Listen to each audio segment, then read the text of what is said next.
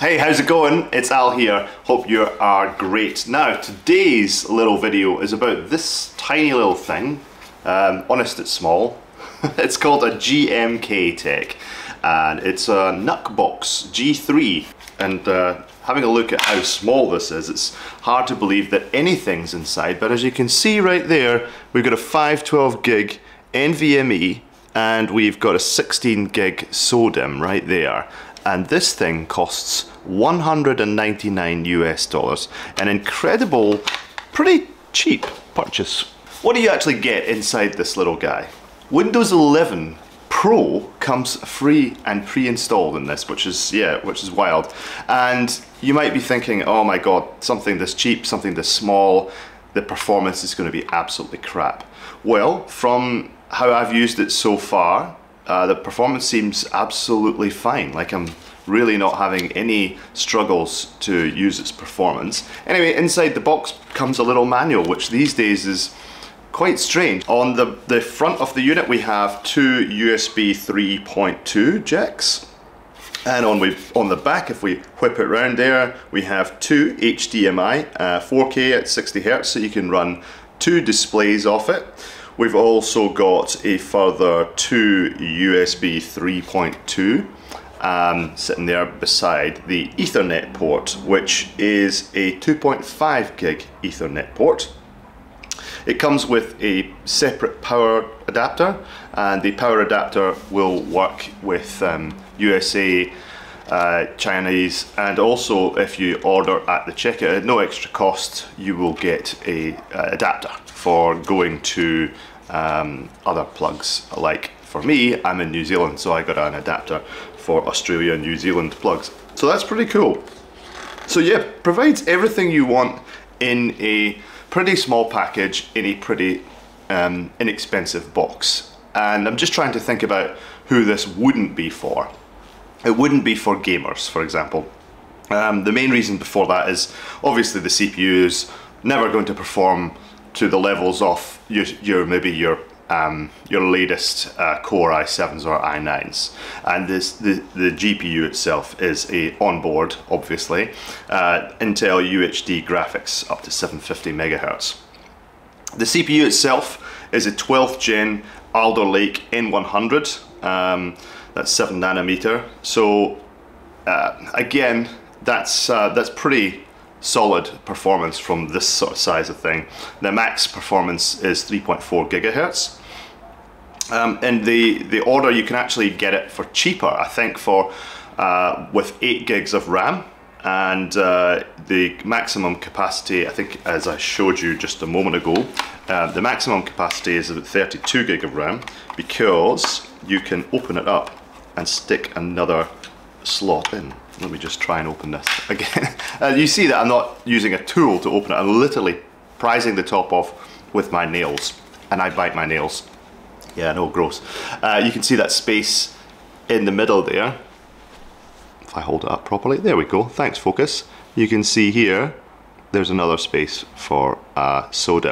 Around the outside, around the outside, we have um, two wireless uh, antennas so that's Wi-Fi 6, none of your Wi-Fi 5 business, um, which makes the wireless performance pretty good. I've done a few benchmarks with it myself and found the uh, performance of the, um, the Wi-Fi to be more than acceptable. Certainly is up there with my Mac G, um, my Mac M2 CPU machine. So, you know, perfectly good. You get it in a nice box as well and uh, yeah, everything looks good about it. So, um, what's it like on Geekbench? I think that's what you're going to be asking next. And before I go any further, just let you know, this video is not sponsored at all by GMKtec. I bought this with my own money, and uh, basically the purpose of why I wanted to use it was so that I could try and install Kali Linux on it and try and use this as a little dev box. Perfect for that sort of stuff. And so far, it seems to be working out. I've um, managed to get the BIOS to read the USB stick and I was having some problems with the, getting the USB keyboard to work for some reason in legacy mode, uh, although the BIOS was set for legacy mode. Um, but I, I ended up just putting the keyboard in the rear of the unit this side and it uh, just worked. So it's a weird thing, but um, obviously not a broken thing. It's just maybe the, the way that um, Grub reads keyboards. So yeah, I, uh, I've, I've got to finish the installation of Linux on this, but I've been playing a bit with Windows 11. It's been snappy, responsive, everything I want um, so far out of a, a small, inexpensive desktop machine. So um, let's have a little bit more of a look at those Geekbench scores. So here's those all important Geekbench scores. And as you can see, it's uh, got itself up to 871 on the single core and then 2428 uh, on the multi core. And it's uh, given us a GPU score of 3216. Now, what do those scores mean? Well, if you wanted to compare them with the absolute blistering top of the line Intel Core i9 1300KS, for example, then you'd be sorely disappointed. Uh, the single core itself whops in at 3103 and then if you go into the multi-core it's 21830 so that's you know miles and miles and miles ahead in terms of performance on the CPU but it only takes you a little while back to start looking at more reasonable scores I mean if we go back to say the i9 9900X which is a 3.5 gigahertz 10 core machine, that is a score of 1488. And then when you start thinking about it that way, it's uh, it's not like it's, it's still a bit off, you know, it's not, but it's not like miles away. We're doing 871 versus 1488 here. So you can start to appreciate that the performance of this machine is not like terribly bad for the amount of money that you pay. And if we look at something, let's go down to compare this. And if I go down into Geekbench and I look for 871, well, the closest score I've got there is a uh, i7, Intel Core i7 5500U, and that is 873. So basically what we're saying is that this is a similar in terms of um, configuration of a two-core machine uh, from, from an i7 um, from you know a few years ago, but not like forever ago.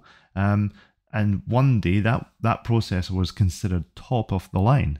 So really is quite interesting how uh, the performance of something that was top of the line would have cost you, I don't know, hundreds and hundreds and hundreds of dollars just for the CPU is now giving us performance in that regard for $199 for an entire machine, you know?